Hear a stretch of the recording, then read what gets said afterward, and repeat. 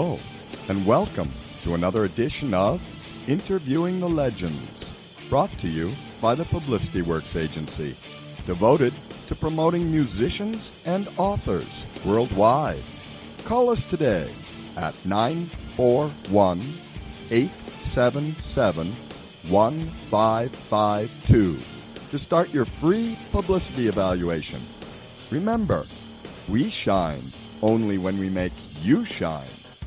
Please welcome the host of Interviewing the Legends, music journalist, author, and entrepreneur, Ray Shasho.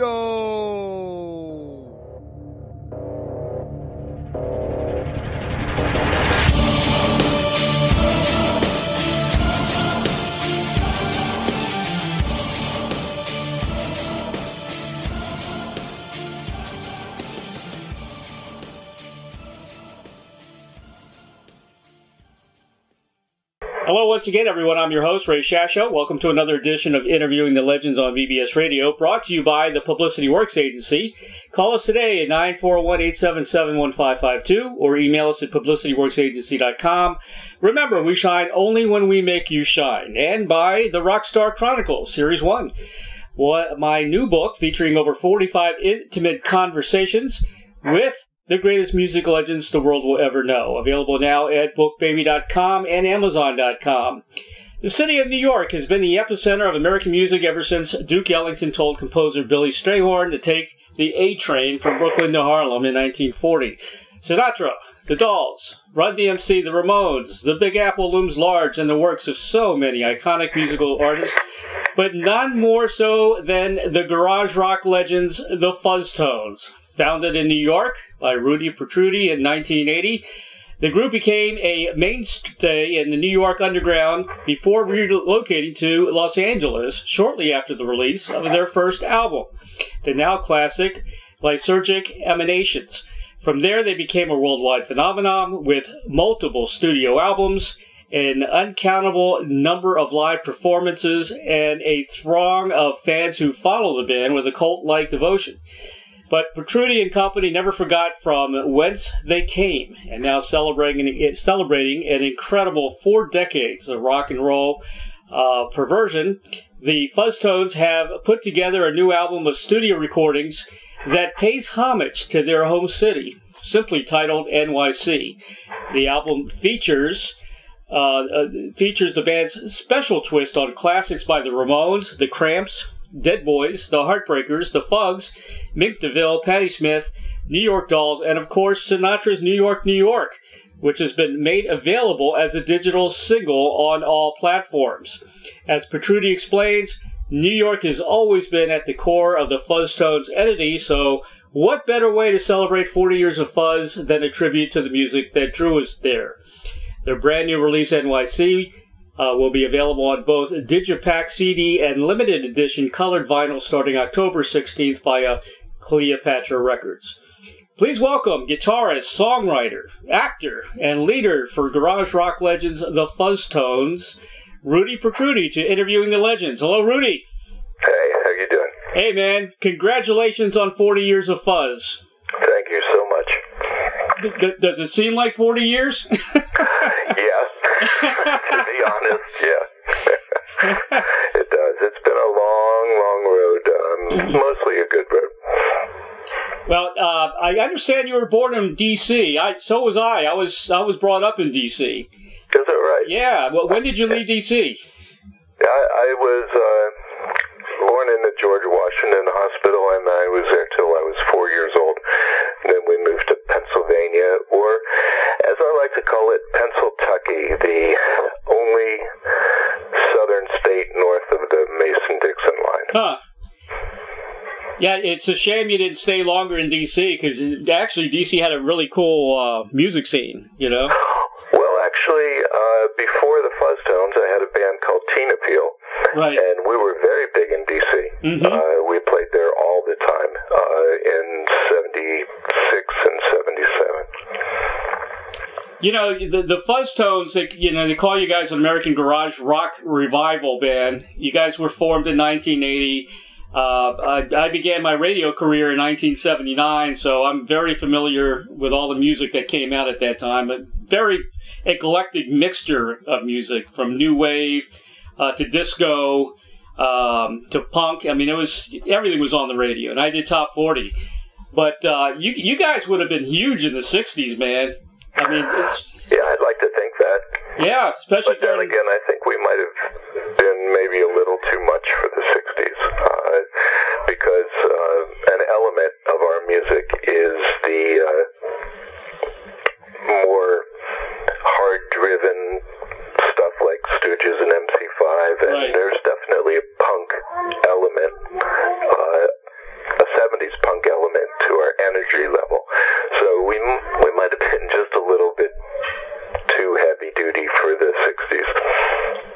Well, that, that, that probably would have separated you from the other guys, you know? I mean, um, it, it, I, you know, guys like MC5, and they were pretty heavy for, for that time. Absolutely. well, they, they were a big influence on us. Uh, uh-huh when I uh, try to describe our music to people who are not familiar with garage, I tend to say, well, we're kind of like if the Doors and the early Stones music was played by the MC5. You know, that's perfect. People a rough idea. I, I, agree with you 100% because, you know, when I listened to the new album, I, I heard a lot of early Stones, you know, and, uh, yeah, I, I agree with you 100%. That's, that's a perfect analogy there of how you guys sound. Huh. Yeah. During that time of the, uh, I think you mentioned it once before. There's there's a brief period of psychedelia in the '60s that you know, like the the Electric Prunes, uh, uh, Music Machine, you know, all, all, those guys. Question mark in the uh, Mysterians. That it was a brief period, wasn't it? Yeah, it was really pretty much just from 1966 to 67, uh-huh. and then uh, psychedelic music came in and uh, turned it into something a little more serious, more artsy, kind of less teenage. Right, right. But the top, the top forty um, psychedelic music, the, the you know the stuff that made it to the radio was was excellent. You oh, know? Oh yeah, was... my God, yeah. If you listen to the uh, Nuggets album, mm-hmm. which was really the first uh, collection of uh, what we now call garage rock, right. uh, because we did not call it that in the '60s. That was a name that um, was put on it later by mm-hmm. critics. But if you listen to that album, there's some incredible music by bands who really only had one hit like the Blues Magoos or the Music Machine uh, or, or, the Seeds. They only had one hit, and uh, a lot of people never heard anything else by those bands until the Fuzz, Fuzz Tones came out and covered some of their stuff. Yeah, exactly. and you know, you know, if you really listen to, you know, I was a big record collector. I used to go to conventions and things like that, and of course, find those type of albums you know, you know, like you know, find uh, another Seeds album that did not have pushing too hard on it. You know, I was really exactly. into you know, yeah. experimenting and finding all that good stuff.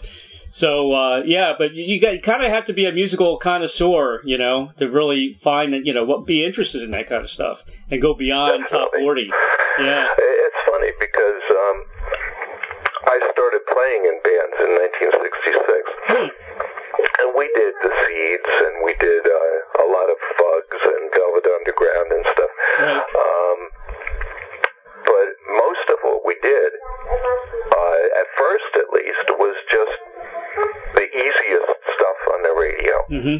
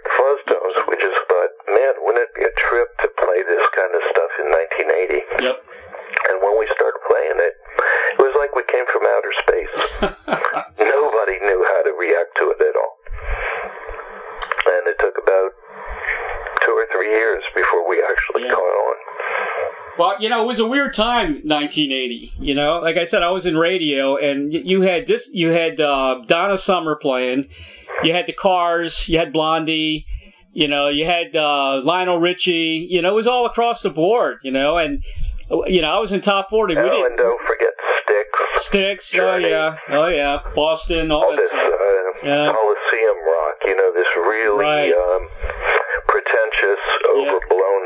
Exactly, exactly. So it was it was a tough time. I mean, it was uh, I mean, very eclectic period. But you know, I'll be honest with you, man. I might get in trouble for this, but I like you guys a lot more than I like the Ramones. You know, Oh, thank you. there's a big difference. I mean, you, you. yeah, because I like that Yeah, if you, psychedelic if you want to really compare the two bands, listen to Acid Eaters. Acid Eaters. Uh, that was their album that was influenced by the Fuzztones. really? Uh, Did not know yeah, that. very few people know this, Uh huh. but um, after Marky Ramone got kicked out of the Ramones, we lost our drummer and our lead guitar player, Yeah. and Marky auditioned for us. Really? And Marky very much wanted to join the Fuzztones, and Mhm. he practiced with us for two weeks. And I hate to say this because um, he's great as a Ramone, but he couldn't swing. Right. He couldn't get the swing of our music, and we actually had to turn him down. Oh wow. Yeah, I know Marky. He, he's been on the show a couple of times. Yeah, I didn't know that. yeah, crazy thing, you know. Yeah. Uh, we also tried out the um, the guitarist for Sparks Mm-hmm. um, off the Big Beat album. That Mhm. guy, Jeff Salen, fantastic guitar player. Yeah. but uh, just didn't fit our style. Well, you guys are more advanced than they are. You know, I mean, you know, like the Sex Pistols and all those guys, the Dead Kennedys. I, I know you actually auditioned for the Dead Kennedys, right? No, the Dead Boys. Oh, the Dead Boys. Okay, I thought it was the Yeah. Dead Kennedys. Yeah. No, I auditioned for the Dead Boys and, and actually played one show with them. It was uh, was a benefit for Punk Magazine at CBGB's. Right. Right. And uh, the night I played with them, uh, the bill was the Dead Boys, the Dictators, David Johansen, Mhm. Patti Smith, Yep. Debbie Harry, uh, Blondie, and uh, Richard Suicide, Oh wow, all on one bill. that's incredible for such a small Yeah. venue. Yeah, it was unbelievable, really. Yeah. And then they told me I was in the band. And I lived in Pennsylvania at the time, so I went home Mhm. and I packed all my stuff and I waited and I waited. And about two weeks later, uh, Jimmy Zero called me up and said, Well, uh, we decided to take our old bass player from from uh, Cleveland. Mhm. So I said, Okay. And I Yeah. formed Tina Peel and moved to New York by myself. Huh. And uh, you know, T- Tina Peel was a good band. Uh, you guys played. I mean, you got you were pretty successful. You were on a lot of TV shows, the Uncle Floyd Oh, yeah. show. Yeah, we were on three or for TV shows. Yeah. We did. Um, we were on the radio on big radio. Mhm. Uh, the two biggest New York stations. I don't remember their names anymore. Uh, but at that time, it, it was not uncommon for them to play up and coming bands. Right. And uh, we headlined the Ritz. We headlined Hurrah, the biggest clubs. And it's funny because I broke up the band specifically to form the Fuzztones. Mhm. So it's kind of crazy because we went from making a lot of money to making almost nothing. we went for two years making like 20 bucks a show. Really? Wow. Yeah. Well, you, you know, you gotta follow your heart, basically. You know? Well, that's it. I mean, you know, we knew what kind of music we wanted to play and we Uh-huh. stuck it out. And thank God we did, you know. Yeah. But a couple of songs I like from Tina uh, Peel, Pajama Party. You know, I love the, Oh, yeah. the sax in that, and Fifi Goes Pop. That's cool. Yep. Yeah, that was um, that was a minor hit Yeah, in uh, in New York.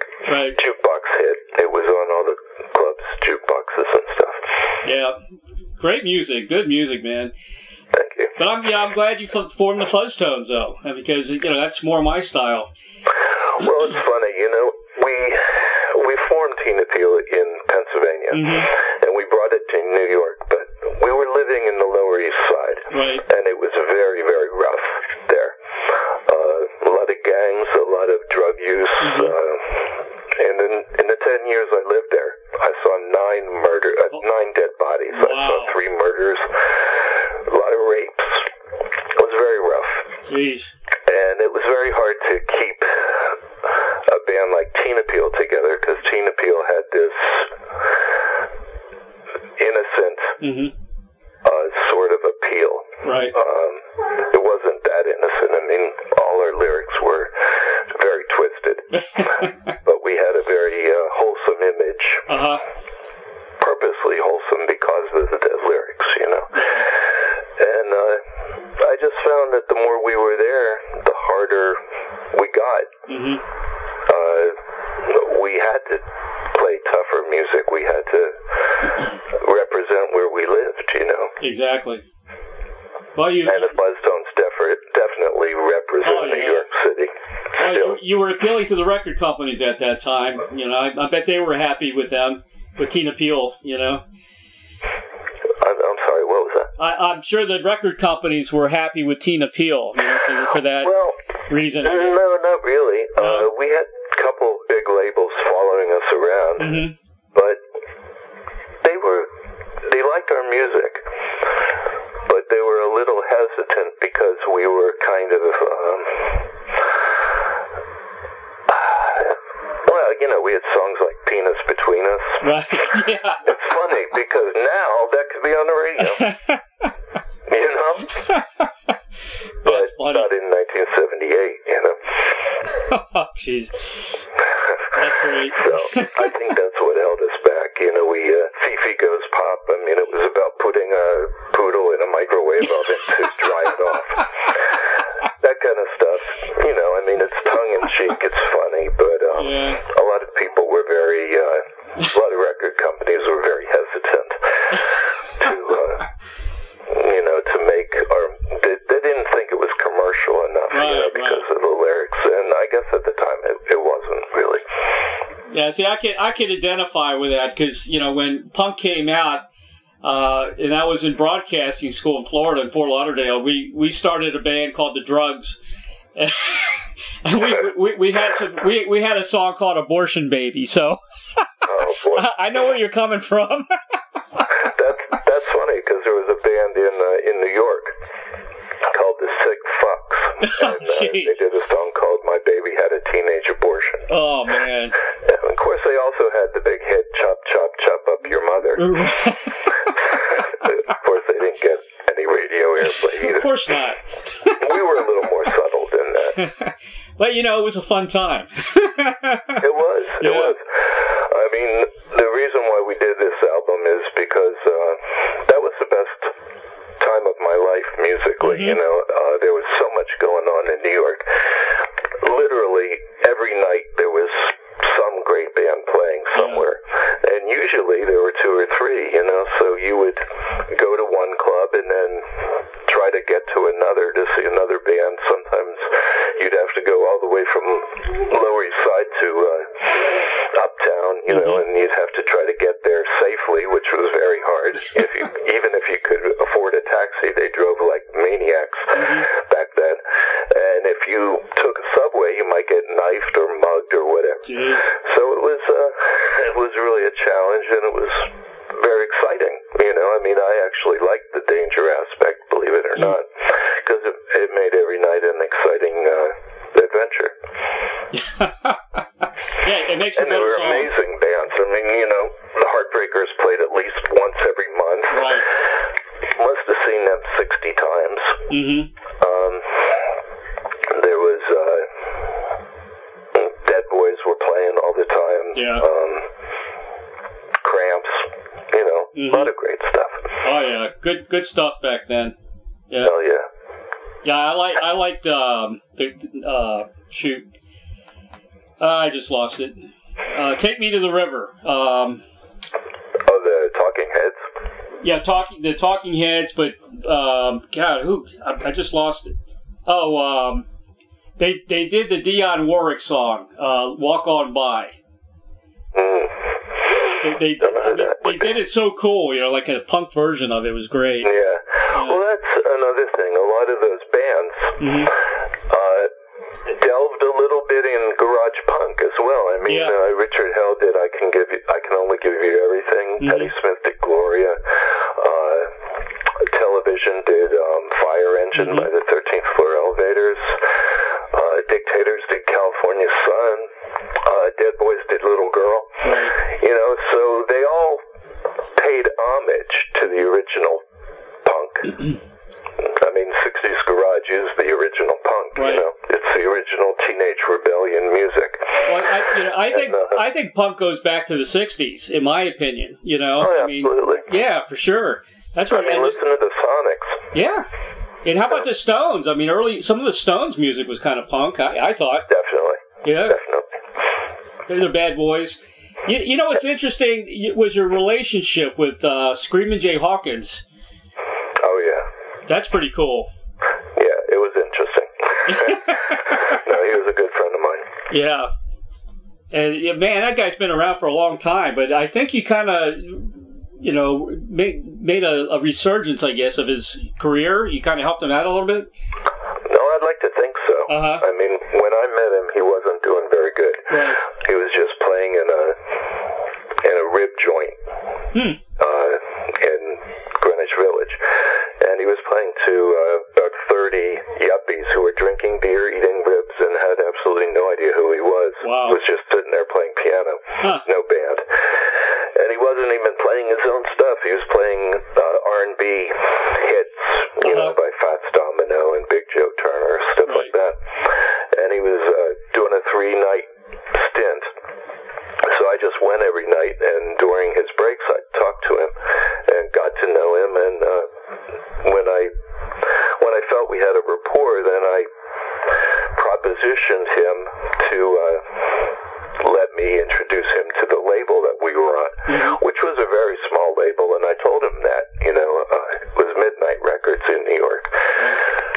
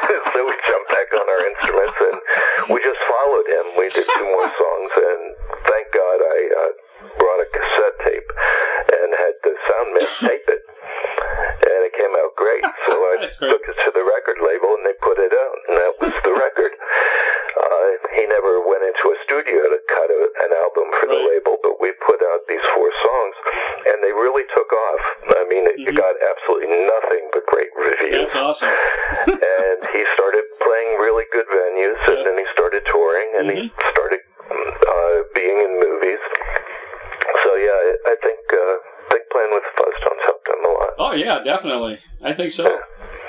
I, I saw you. You did an interview with Larry King, right? I did. I yeah. I, I don't want to. I hope you're not buddies with this guy, but I I I, I think he's a big idiot. Larry, Larry King, I can't stand Larry King. why do y'all wear your hair so long? Exactly. In or out? Exactly. What stupid questions does he ask? Holy crap! Uh, I well, if you listen to that interview, you'll see that I was making fun of him the whole time.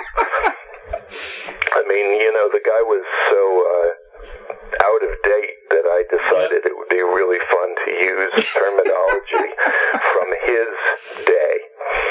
So, you know, he'd say something like, uh, "Did you ever get a haircut?" And I'd say, "Yeah, when I was a tyke." yeah. I mean, nobody uses the word tyke. That's something they used Right. in the 40s, you know. So I talked to him that way through the whole interview, and the audience thought it was pretty hilarious. I don't think he realized I was making fun of him. Yeah. He says, uh, "Can you can you hum me one of your tunes?" yeah. Right. yeah, they're unhummable, right? You know, all these so-called legends, they don't do any homework when it comes to you know musicians. You know, which is No, it's a travesty. It really is. yeah. Yeah, it bugs me a lot. It, but I'll tell you what, I was really happy to have gone on his show because Right. I mean the guy's huge, Yep. huge name, you know. And uh, I owed that to Rodney Bingenheimer. He's the one who took me and introduced me. Mm-hmm.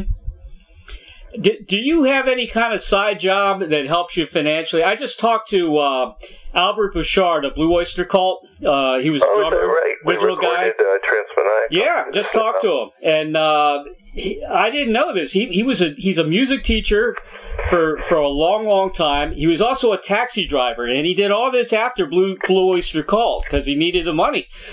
Oh yeah. So Um, believe it or not, no, no, huh? You're no. Uh, when we were at our peak, right.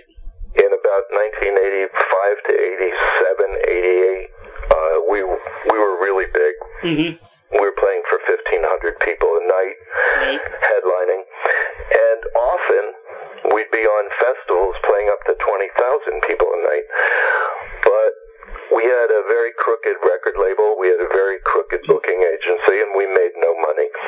Somebody did, but it wasn't Somebody us. did, yeah.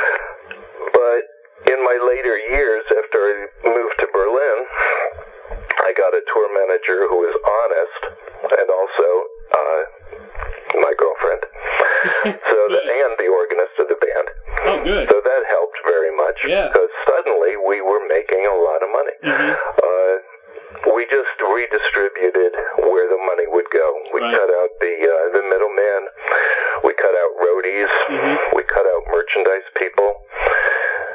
We did everything ourselves. You know, we uh, no longer brought equipment with us. We had the clubs provide it. We changed everything, Really, very smart. and I'm able to make a living. Yeah. So um, I just bought a house, Congratulations. doing fine. Excellent. Funny because we don't play for anywhere near 1,500 people anymore. Well, you're big in that area, right? That's that. I Oh, think. yeah. like I, you know, I know Suzi Quatro. She's in England, and she's never All left right. England. And the same thing. You know, she's big over there. You know.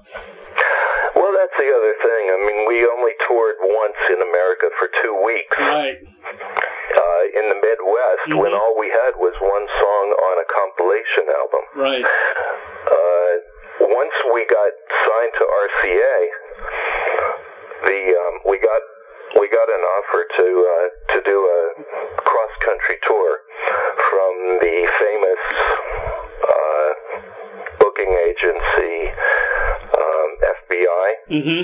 which um, I'm trying to think of the guy's name. There were three brothers. Uh, the Copelands.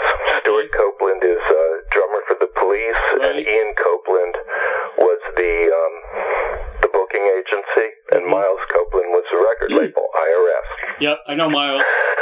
So they kind of had the music business by the balls, you know. And uh, he's the one who arranged for us to do our first two week tour. hmm And that two week tour, when we were practically unknown, we made up to two thousand dollars a night. hmm And then when we got a, a deal with RCA, he calls me up and offers me this big tour, headlining, Awesome. two hundred dollars a night. Oh my gosh, what happened? Yeah, yeah. and I shocked him by saying no. you shocked him, right? So we were blackballed. Uh, and to this day, we've never toured uh, America again. Forty Yeah. years. I've I've heard mixed mixed reviews about Miles. I've had him on the show. Uh, Well, this was Ian. I don't oh, it was Ian. It wasn't Miles. Okay. But but you should ask the Cramps about Miles. Yeah, I know. I know. I've Same heard deal. some. Same deal. It, it, kept them in court for a couple of years. They couldn't record. It's crazy business.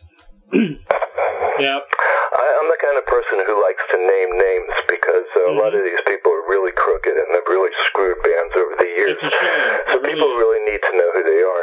I agree, hundred percent.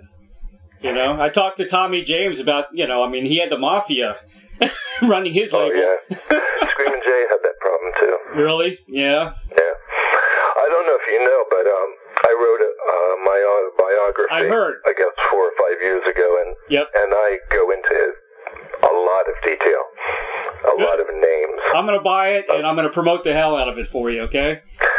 Cool. Yeah, definitely. Uh, I would definitely want to talk about the new album. Okay. Um, here's what I heard. Here's here's the kind of bands I heard. Oh, by the way, the the band I was trying to think of that did the Dionne Warwick thing, the Stranglers. I was think, trying to. Oh yeah, that was uh, Yeah. that was an English band. We played with them in Tina Peel. Good band, them, really good band. good but- band. But I hear, hear I hear a lot of things in you. I hear the pretty things. I hear Oh yeah. the, the Electric Prunes, the Doors, the Seeds, the Rolling Stones, the Music Machine, Hawkwind, Stranglers, Question Mark and the Mysterians, and I can go on and on. Absolutely. Yeah. it's Yeah. great. But not just 60s stuff. I mean, you can hear the Stooges. Oh, you yeah. can hear, um, Yeah. Blue Cheer. Yep. You can hear the Fugs. You Mhm. can hear um, Chuck Berry, Jerry Lee Lewis, Yep. Bo Diddley, uh, uh, Sonny Boy Williamson. Well, I'm giving you five stars, A lot of man. Five New York stars Dolls. I mean, they're all they've all influenced in some way. You know. Five stars all the way. Favorite songs? Flip Your Wig. You know, one of my favorites. Wayne County. Yeah. Yeah. You guys did a great version of that tune. Thanks. Yep. Uh, I, I, I want to say, the, the- pronounce this right. Is it uh, psilocybe? Psilocybe. Yeah. Psilocybe. That that's That's uh, magic mushroom. that. Is that you singing on that tune? But you sound like Jim Morrison, man. Thank you. Thank you. One of my faves. Big influence on me. Very cool. Talk a little bit about the album, about you know making it. Well, um, my concept was to uh, to basically do a, an homage to uh, the music from New York that influenced us in one way or another, hmm uh, and you know. Pay homage to New York City itself, so the song "New York, New York" by Sinatra, Right. that's an anthem. And I thought, well, let's see if we could make it sound like we wrote it. Exactly. So we rearranged it to, uh, you know, Mhm. to be a Fuzztone song, and that starts out the album. Yeah. So it's an introduction to what it's going to be about. And uh, we cover Richard Hell, Patti Smith, uh, New York Dolls, um, some some uh, isn't that well known, like the Fugs. We do a Mhm. Fugs song that I actually played in 1966 in my first band. Oh, Uh, we do uh, Psilocybe is by a so-called garage revival band from the 80s called the Mad Violets that Mhm. most people don't know about. Uh, there's a song by John Collins on the album. It's called Man and Me. Mhm. Uh, this band, John Collins Band, they uh, opened for Tina Peel, but I honestly don't remember them. I just read in my journal recently. and the only song I've ever heard by them is "Man in Me." It's Mm-hmm. on a uh, Max's Kansas City compilation from the late '70s, and it's a great song. So we just decided to put that on. Uh, Mink DeVille, DeVille, we covered them, and uh, I don't remember what else is on there, but uh, but kind of like you know cool music from New York from Yeah. three two two different eras, I guess, from uh, from the '60s and from the '70s, and we do it all Fuzztone style. You know, we don't uh, Ramones. We cover a Ramones song, but we don't do anything like copy the music at all. You know, I mean, we definitely have rearranged everything so it sounds like a fuzz tone song. Oh, you, you guys definitely have your own sound. I mean, you know. Thank it's you. just- Well, you we ju- we ought to. We've been doing it for 40 years. Yeah. so I think we've you know we've perfected a style that You- people can you do have a identify style. when they hear it. You do have you have great style. A couple of tunes that really sounded like early Stones was Skin Flowers, and um, another one was Let Me Dream with the harmonica. Oh yeah, yeah, opening. yeah. Yeah, well, that's Mink DeVille. Yep. Let Me Dream, Mhm. and uh, that's got that kind of John Lee Hooker boogie type Yep. rhythm to it, and like that Brian Jones harmonica Mhm. sort of riff going through it. Exactly. So yeah, I could definitely see that. Yeah. You, killer riffs, man. Your guitar, I believe it's your guitar on uh, Transmanicon. Is that how you spell it? Transmaniacon. Manicon. Transmanicon MC. Yeah. Yeah, that's a Blue Oyster Cult song. That's Yeah. New York too. Great, great sound on that one. I mean, you're Oh, that, that was your guitar work, right? Oh yeah, Yeah. I'm the only guitarist on the album. Excellent. I'm also the bass player too. who, who needs the rest of the band? you can do like a Todd Rundgren thing, you know? Just Um, actually, I'm I'm thinking I might do that on uh, on the next release. I'd I'd really like to do that. Mm-hmm. I mean, you you've got all the uh, you know all the talent f- to do it. Might as Thank well. you. Yeah. Do you, do you have a Well, actually, all the all the vocals are mine too. All the harmonies. do you, do you have a studio in your house? No, I wish. Uh, yeah. I have a garage bands. that's what I do my demos on. But I mean, that's nothing you could ever, you know, release. Did, didn't you guys play? really rough stuff. Didn't you guys play in a parking lot once, in in, in uh, underground parking lot or something like that? Yeah, we did. That was our very last Halloween show. Uh-huh. Uh, we we had a place here that we would uh, play every Halloween in Berlin. Uh, it was a, a club. It was the closest thing Berlin had to CBGB's. It was very similar in atmosphere. It was called the Bassie. And for our last show, we got offered to do the Halloween show in a haunted uh, parking garage. And we just thought, why not do something different? And uh, sounded like a cool idea. But uh, in all honesty, it, it it didn't have the same vibe, and it was freezing cold, and everybody got sick. And, Oh, jeez. and we just decided after that we wouldn't do any more Halloween shows. so they've just kind of gone down in history as uh, Yep. something really cool that we used to do. You know, it's a, it's a myth now. But what were the acoustics like in there? Terrible. Terrible, huh? Yeah, just another reason not to do it. You know. Mhm. But uh, no, we tried something. I mean, you know, that's Sure. the thing about the Fuzztones. We're we're not afraid to try something new, something uh, something unexpected. I like to do the unexpected. Right. Uh, one thing, you know, Frank Zappa mentioned this, and I thought he was 100% right on this. He said that um, at one time you had these, you know, cigar chopping guys that made decisions in the music industry. They didn't, they didn't know anything about it, but they took a shot. You know what I mean? Because you know, you know, Frank, he, his his song was very out there. You know, it, you wouldn't think it would have made top forty or you know even on the radio. But then he said when the hip guys came in that thought they knew everything, they ruined it. You know? Oh yeah, Yeah. absolutely.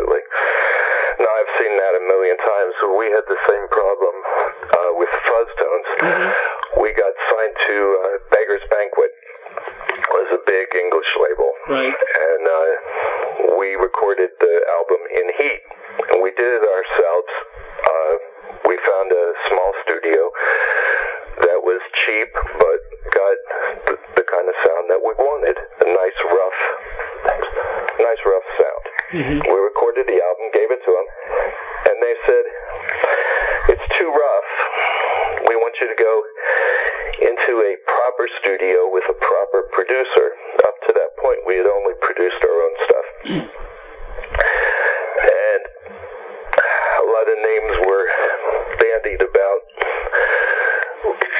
Like, for instance, uh, Hunt Sales from Iggy Pop's band.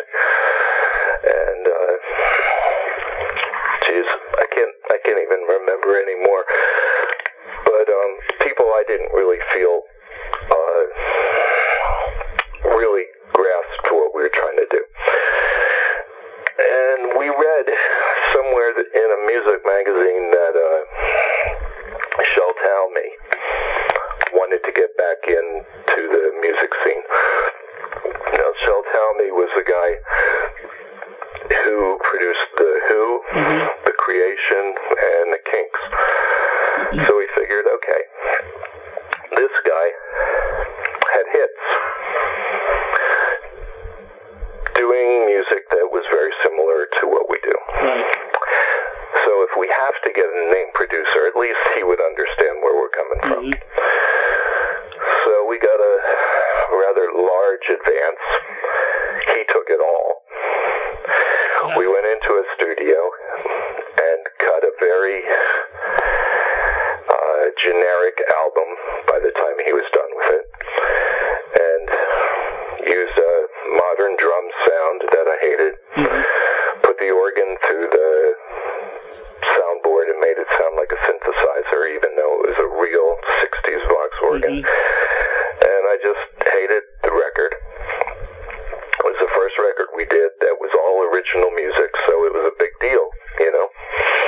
And uh, consequently, all the reviews were terrible. And it's funny though, our fans loved it, loved us anyhow. They, uh, that's when we were at our height. We were playing for 1,500 people a night. But, um, we lost a lot of our garage following. So, uh, 10 years later, I believe, I found a label to put out the original version. And that got great reviews. And that's called Raw Heat. Well, he. But what an irony, you Yeah. know? Uh, you made a statement in another interview that was right on, man. You, you, I think the interviewer said, if you could change one thing in the music world and it would become a reality, what would that be? And you said mainstream radio pl- would play all styles. There's room for everything. And that's yeah, well, 100% that's what right. they did in the 60s. Yeah. You know, it's funny, but if you think about it, or or if you were there, you'd know that in the '60s they uh, they didn't have the format they have Mhm. now. You know, like Exactly. now it'll be hip hop radio, blues radio, country radio. But in the '60s, they would play, well, they would call it pop, but it was a huge umbrella. You know, you could have Frank Sinatra singing "That's Life," followed by the Beatles doing "We Can Work It Out," followed Exactly. by the Seeds doing Yep. "Pushing Too Hard," Yep. followed by Napoleon the Bonaparte. 15th doing "They're Gonna Take You. Away," followed by uh, Prince Buster doing the Ten Commandments, which could never ever be played now because it's the most misogynist Yep. thing you ever heard. How, how about Arthur Brown and Fire? Yeah, yeah. Yeah. I mean, you know, a huge array of stuff. yep. Petula Clark doing t- Downtown, followed by Exactly. Talk Talk by the Music Machine. Yeah. You know, and it's funny. TV shows were the same way too. Yep. The Ed Sullivan Show was the biggest show on TV, Exactly. variety show, and he would have a juggler, a comedian, and then he'd have a rock and roll band. Mm-hmm. You know, now if you think about it, today that's unheard of. Yeah. Nobody does anything like that. It's sad. Very sad. It is. Yeah, because you know I was a I was a that I went to school for that, and the, I became a DJ because of that, because of that era, because of the '60s DJs and and all that. That's why I I did it because I love that era, and uh, you know it, there's no reason why they can't do it again. And No, I, I do. I do this show because I, I love what I'm doing. It's not because I'm I'm not getting paid, you know. I pay for the time because I love the music. I love these guys I grew up with, you know, and I want to promote them because who else is promoting these guys, you know? You're absolutely right. And the musicians need people like you to do this, you know, because uh, it, it has to be a labor of love. It's got to be a labor of love, right? Exactly right. I mean, for a while we had uh, uh, Little Steven Mhm. championing this kind of music. Right. But as soon as his uh, his station, his his um, his show got popular, then he started to sneak in Randy Newman, Bruce Yeah. Springsteen, uh, on and on until Mm-hmm. it was like har- hardly recognizable as the quote underground garage. you know what I mean? Yeah. And this is something else that always happens. you Well, know. that, that's the other thing. We we had a lot of underground stations. We had a lot of underground stations back then too. You know that played played stuff nobody ever you know heard of. It was great. Well, that was another thing uh, that was different in the 60s Mhm. when I grew up. Uh, all the way up to the 80s, actually. Mhm. Uh, me and my friends, we would go to record stores and we would just go through the bins, and if we saw an album cover that looked intriguing, Exactly. Buy it, hmm not having a clue what the music sounded like. But part of the fun was, well, this album cover really looks intriguing. Let's Mhm. go home and see what it sounds like. Yep. And almost all the time it was great. Yep. You know, this is how I learned about the Velvet Underground. Mhm. I bought the album because it said Andy Warhol on the cover and it had a uh, banana that you peeled away. Yeah. Uh, the original ones, you could peel the banana. and it and I think it said "Look and See" Uh-huh. on it. You know, uh, I bought the Pearls Before Swine because it had a Hieronymus Bosch album cover, which Mhm. was fascinating looking. You know, what, what kind of music would go with that? yeah. Uh, a lot of bands, Mothers of Invention, freak Yep. out because of the cover. Exactly. Yeah. Plus, they had a lot of cool sh- stuff. You know, you open up uh, and and, you, and there's like a, sometimes a poster. You know, you read. You got to read the liner notes. Uh, I mean, it was all interesting. You know, the, the whole album uh, thing was it was fascinating. Absolutely. Yeah. Here's uh Rudi. Here's a question I ask everybody, and I, I get some really interesting answers. If you had a Field of Dreams wish, you know, like the movie, to uh, perform, collaborate with anyone from the past or present, who would that be? Alive or dead? Yeah, alive or dead? Oh, absolutely. Jim Morrison, Jim Morrison. Yeah. uh, Jerry Lee Lewis, Mm-hmm. uh, Iggy Pop, Link Wray. Oh, I love Link Wray. Yeah. me too. Yeah. Bo Diddley, Yep. mm, John Lee Hooker. Probably those. Yep. Great answer. I just I just had James Williamson on the uh, on the Oh, show. Shangri-La's would be good too. Oh, the shot. Yeah, that's that's way out there. Shangri-La's, yeah. Yeah. Oh, yeah, James Williamson. Yeah, I right just on. had him on the show. Yeah. Yeah, he's doing good. He's happy. What's that now? he's happy. He's doing Yeah. all right. Yeah. Yeah, it's crazy if you think that before the reunion he hadn't touched his guitar for years That's and right. years. That's right. Amazing. Yep. That is amazing. And those those reunion shows were fantastic. I saw both uh, the Stooges with the Asheton brothers and the Stooges with James Williamson, and they're both just fantastic shows. Yeah, they were the Dolls reunions were fantastic as well. they were ahead of their time. I thought. You oh know. God, yes. Yep. I was really lucky. Um, I used to hitchhike to New York City Mhm.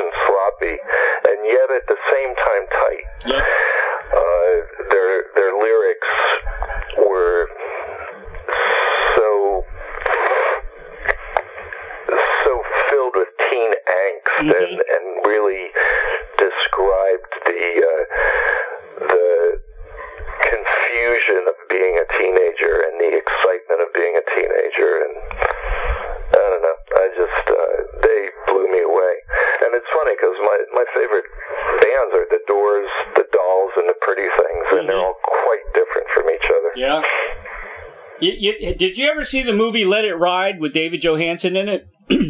Mm, I don't think so. Oh, you got to see it, man. Uh, know, Richard Dreyfuss, um, and uh, I mean Johansen does a fantastic job in that. He's really funny in it.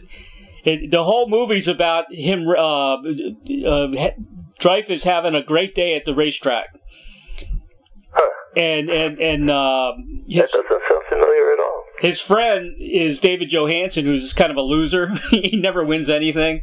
But it, it's great movie. It's a great Uh, I'll movie. definitely check it out. Let let it ride. Yeah, I like David Cool. Johansen. I think he's pretty cool. yeah. Yeah, no, he's uh, he's one of my uh, one of my heroes yep. for sure. So, The uh, the last well, the the reunion album uh huh. Had some really amazing material. I mean, uh, the, the song um, "Maimed Happiness" Right. is like one of the best songs I've ever heard. The lyrics are just amazing. I mean, he was to me, he's one of the absolute best lyricists. I put him up there with John Lennon, Bob Yep. Dylan, anyone actually. Then, then he comes out and does Bu- Buster Poindexter. that I could live without. I don't know. Hot, hot, hot was kind of neat. You know, I, I tell you what, though, I, I think it really helped him because if you listen to his voice on the Dolls' first two albums and then you listen to his voice later, uh, doing Buster Poindexter uh, definitely uh, helped him to develop a, a range, you Mhm. know, other than three notes. I mean, the first two Dolls albums, as much as I love them, I mean, it's not much singing. It's Right. more like chanting. And I think, you know, doing Buster and doing his own band, doing stuff covering the animals and stuff, I think he learned how to sing, you know. I don't think that's necessarily uh, necessary, you know, because I I loved what he did before, but um, I don't think the original Dolls could have ever done Maimed Happiness. Right. You know, I, I, I'll, I'll admit, nobody can cover Eric Burdon's songs better than than he. he. I mean, he does a great job with those animal tunes. Definitely, Yeah, definitely. he, he's got the range for it, the voice, because you know Eric has got that deep, deep Yeah. voice. No, I, I think it was a great idea for him to Yeah. do medley. It was uh, one of my favorite things that David Johansen's Mm-hmm. band did. Yeah, me too. So, Rudi, uh, when this virus thing ever goes away, do you think you're going to promote the album and go on uh, do some? Well, that was the idea. um, being this is our 40 year anniversary, Yeah. we had big plans. We were going to tour uh, to promote the new album, and we have a book coming out. It's a 360 plus page photo history Oh, of the band's 40 years.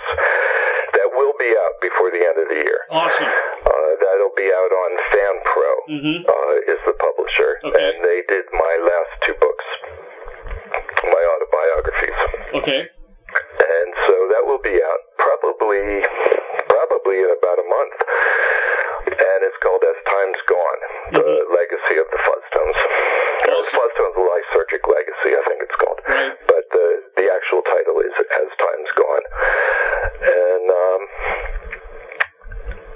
like I said, that was kind of ripped away from us because of this uh, planned, uh, pandemic. what what Pandemic. what other And, uh, countries? what other countries are you doing over there besides Uh, Germany? I'm I'm a little bitter about it, as I'm sure anyone who lost their job is bitter about Mm-hmm. Oh, it. yeah. But, you know, it's pretty hard to have a band for 40 years. I, I'd like Yeah. to see who else did it besides the Rolling Stones, Pretty Mhm. Things, and the Fuzztones. Tones, and uh, you know, if if we um if we get a chance, we'll absolutely promote I, 41 years because probably it won't be till next year before we play again if we can. Yeah. I don't know. I mean, to me, honestly, I'm rather pessimistic about all this. I think it's, uh, I think there's a lot more to it than a virus. I think this is a political thing, and uh, I, I don't think the outcome is going to be very good. So I don't know, but we can certainly hope. Yeah, it's like We want to it- get back on stage, no doubt about it. It's like, is there going to be a point where they're saying, "Okay, you can take your masks off"? You know what I mean? I mean, how is this well, going there to is. happen? There is. It's already. You Yeah. can take your masks off to riot, burn down cities. Yep. That's okay. You can do that, but don't don't try to go to a church Yeah, exactly. or yeah. go to school. Yep. So it's it's obviously politically motivated. I It's don't want uh, to say too much more than that. I know but what you think- mean. It's like the Twilight Zone. It, it, it, it's, it's it's it's horrible what's happening. I agree. It is 100%. horrible. Um, if this happened in the '60s, people would have uh, protested in numbers, Mm-hmm. huge numbers. We we ended the war. Yep. We ended the draft. Mhm. But people today are complacent. They are complacent. Uh, I Yep. can't believe how many people, how many friends of mine, Yeah. have absolutely no problem with wearing a mask. Uh, what have we been wearing them eight months now? I think, Yeah. and they seem to be okay with wearing them forever. Yeah. It's like, eh, I kind of forget it's on. It's no big deal. Right. I don't know. To me, it's it's. Uh, well, I just don't go along with it, you know. Yeah. That's, it's just, But I, I always had a hard time fitting in with the crowd. So yeah. I agree with you. It's tough on man. The musicians are. I, I really feel for them. Big time. yeah, no, it's, it's horrible. Excuse me. It's really horrible. Like it's it's uh, made a huge dent Mhm. in uh, in our earnings. Um, it takes away a lot of uh, fun. I mean, you know, it was a social thing to go out and gig. You know, meet the fans, uh, entertain people. You know, make people happy. Uh, people need it. They do need People it. really need live music. You know, uh, your soul needs live Mhm. music. I think uh, everyone is uh, basically their souls are being starved. Yeah. That's how I feel about it. I agree. I, I'm like you. I've been to a million concerts, man, and I still go to them. And it's the only thing that's it's my release to go see music. You know, it really is. But Yep. but luckily, I, I get to interview legends like you and uh, and Well, thanks. I really appreciate. Rudi. I, I think I got you covered. We got the new album coming out. It's it's like any day now, right? Uh, you can buy it online. Okay. Um, I don't know if it's in stores. It was supposed to. The release date is officially Friday, Okay. October sixteenth. Uh, some people tell me it's already out. I don't know. Yeah. It's not out in Berlin. I know that. I think I saw it on Amazon.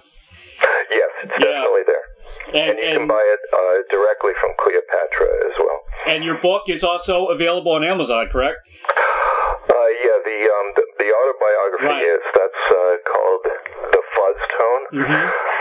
not Fuzz Tones, the Right, Fuzz Tone. the Fuzz Tone. And uh, the first book is called um, Raising a Ruckus, is the subheader, and the second is the Fuzz Tone, A Life at Psychedelic Velocity. I'm definitely going to pick that up. And we're, I'm going to promote the hell out of it in all my. I got many many sites out there besides being on radio, and, and I put I put all my interviews on YouTube. If you go to YouTube and, and punch in my name, you're going to see all all my episodes are on there as well. Cool, I'll definitely check it out. Yeah, Rudi, thank you, man, so much for being on the show today. Uh, good My luck with the new really. album. No, nothing but praise for me about the album. That's my style, hundred percent. And Cool. uh, Well, you know, I, I'm really glad you dig it. I do, I do hope to see you in, in the U.S. one day, hopefully. It would be great. Yeah. Spread the word. I maybe, will. Uh, maybe a booking agency will get a hold of us. You can always reach us at uh, at our Facebook page for the Fuzztones. Excellent. Thanks, Rudi. Take care of that. Stay Thanks safe, so much man. For, for the interview. Okay, take care. Okay, man. All right, bye bye. Purchase the latest release by the Fuzztones entitled NYC. It is a great album, and if you're a lover of 60s psychedelia and punk and uh, mixture of just about anything rock and roll, you're going to love this album. NYC will be available on both Digipak CD and limited edition colored vinyl starting officially October 16th at Cleopatra Records. It's uh, available now, I believe, on Amazon.com. Uh, you can uh, also stream the new New York, New York song by the Fuzztones. That's also available right now on YouTube. For more information about Rudi Protrudi and the Fuzztones, visit www.fuzztones.net. That's their official website. They're also on Facebook, www.facebook.com backslash the Fuzztones official. Very, very special thanks to the great Billy James of Glass Onion PR for arranging this interview with Rudi Protrudi and the dynamic duo, of course, of Doug and Don Newsom of BBS Radio for making the magic happen for each and every broadcast of interviewing the legends. We are going on five years now. If you have comments or suggestions for the show, contact me at interviewingthelegends at gmail.com. Please subscribe to my YouTube channel, Interviewing the Legends with Ray Shasho, for the very latest interviews. It's real news, people. And my new book is out. It's entitled The Rockstar Chronicles, Series 1 Chronicles, Truths, Confessions, and Wisdom from the music legends that set us all free. You can order yours today on hardcover or ebook at bookbaby.com. It features over 45 intimate conversations with some of the greatest rock legends the world will ever know. Stay safe, be healthy, everybody. God bless you. Take care. Bye bye now.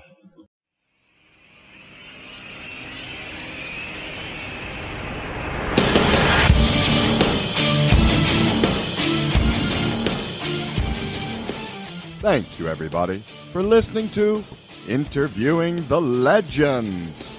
Brought to you by the Publicity Works Agency. Call 941 877 1552 or visit us at publicityworksagency.com, specializing in author and music artist publicity plans. We shine when we make you shine.